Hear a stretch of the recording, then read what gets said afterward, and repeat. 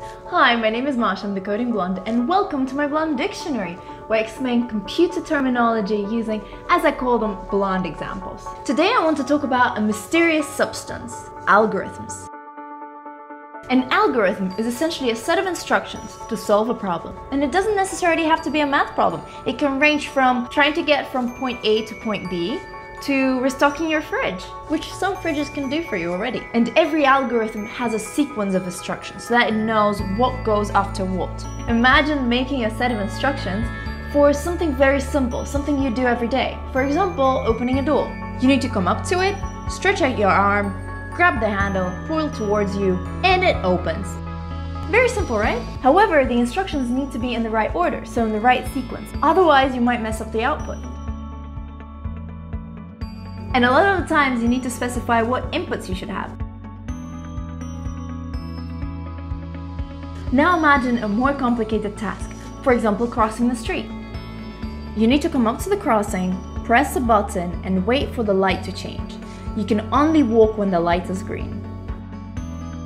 And the reason why this algorithm is more complicated is because it contains logic in the shape of a conditional statement. If the light is red, wait. If the light is green, go. Conditional statements are crucial to building algorithms because they let you add logic to the sequence of instructions. But you need to be careful when writing them because everything is taken very literally. Let's imagine that the task is to get one pack of strawberries and if there's lemonade, to get five.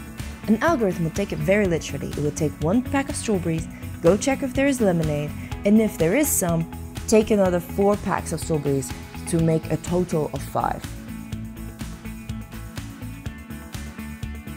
And a very good way to visualize algorithms is through flowcharts. Here's an example of one. Yeah, I think I'm immune to coffee and to sleep. This is a very simple one, and obviously there are super complex ones out there. So as you can see, an algorithm is a set of instructions. Programmers use them to solve problems. And in fact, computer programs are basically super complicated, multi-layered, algorithms. Now imagine an algorithm behind a search engine. It checks this database of web pages for specific keywords that you've entered and then ranks them according to their rules and shows it to you and then you can press on it and interact with it. Super complicated. And it's crazy that computers nowadays can perform that many sets of instructions and analyze so much data in just a blink of an eye. So that was a very basic explanation of an algorithm. Please let me know if you'd like me to do a deep dive and I would love to hear what examples you would have used in this case so please comment down there. And if you haven't yet, press that subscribe button. comment, like, and so on. You know what to do. Bye! Starting. Oh! Sorry.